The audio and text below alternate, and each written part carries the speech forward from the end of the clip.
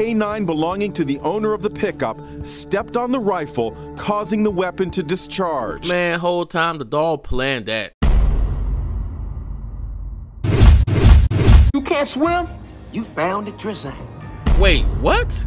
Dog fatally shoots man in freak accident. Ain't no way. Hold up.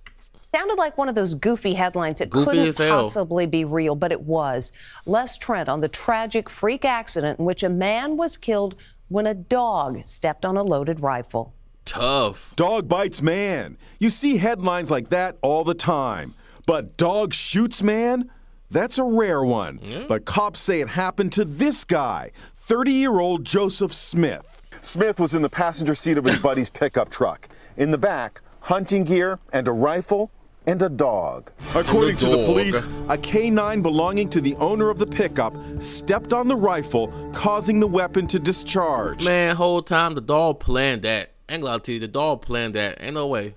Smith was fatally shot in the back. It's not known who owned the gun. His friend is absolutely beside himself. Chris Brown is Smith's boss at a plumbing business in Wichita, Kansas.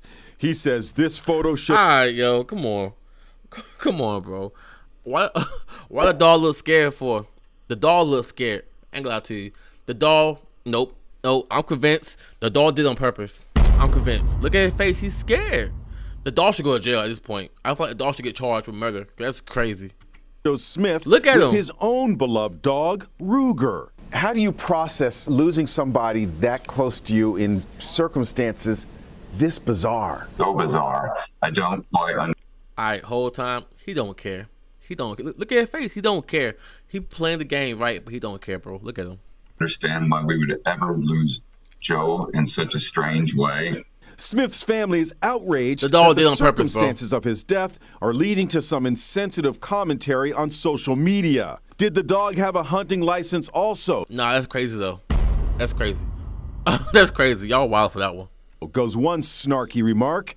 And this, I believe the dog had been planning this for some time. Yo, I just said that. I just said that, bro. I feel so bad now. Oh my god, that's crazy. All right, look, it's not funny, bro. It's not funny. It's not. Hold on, it's not funny. Okay, look, I'm laughing, but not funny because I know, like, the world's so crazy, right? We go through so much nonsense, so much tragedy, to a point where we get numb to what's real in life. You feel me? So it's not funny, but just like it's life sometimes, bro. You gotta, you gotta chalk it up sometimes, boy. Damn, that's tough. To any of those people, I would say shame on you. My fault. A GoFundMe account has been set up for the dead man's family. We've got details on that over at InsideEdition.com. Nah, that's crazy though, bro.